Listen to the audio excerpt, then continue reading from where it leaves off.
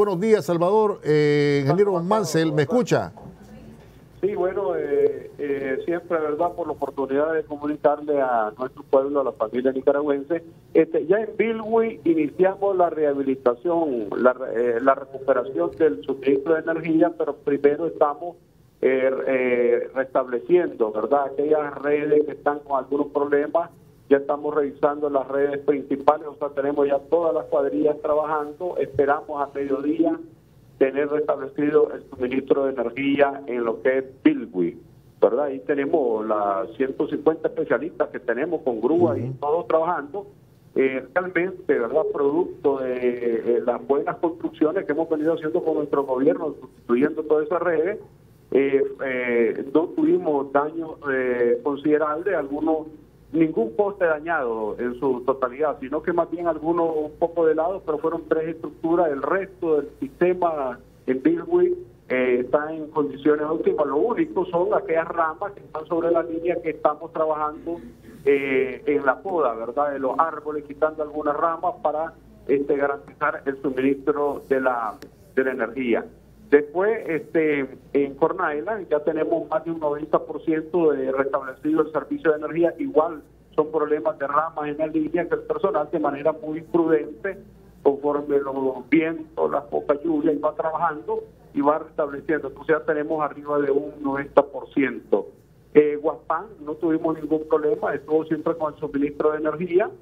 Eh, en la parte que estamos todavía eh, trabajando, porque el circuito es un poquito largo, es para el Tortuguero, Juncarajil y Laguna de Perla. Pero eso, en, lo que va de aquí al mediodía, nosotros estaríamos ya restableciendo toda esta zona.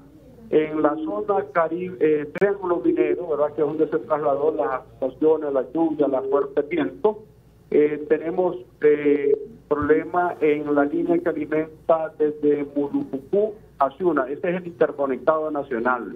Entonces solo tenemos el Triángulo Minero, una Bonanza Rosita, eh, en este momento sin energía, pero importante mencionar, desde anoche nosotros trasladamos el personal patrullando desde Morucucú a Ciuna y otro grupo viajando de Ciuna hacia Morucucú para hacer eh, las inspecciones correspondientes. En, en este momento tenemos todo ese personal inspeccionando y paralelo estamos revisando el circuito que va desde Ciuna, que alimenta Bonanza y Rosita, donde se nos dijo que hay algunas afectaciones en algunos tramos, entonces estamos aprovechando de igual manera. Esperamos de, igual forma de aquí a antes de mediodía tener eh, restablecido eh, el suministro de energía en esa parte. Y en la zona de Gualala, el Cuá, Rancho Grande, eh, Gualala, eh, de los circuitos de distribución que salen desde el Tuma eh, tiene algunas afectaciones, esto es lógico por los vientos y la lluvia que se han trasladado a, esos lugares, pero de igual forma, desde anoche eh, tenemos brigadas, como las hemos desplegado todos estos días a nivel nacional, inmediatamente están trabajando para el restablecimiento de la energía.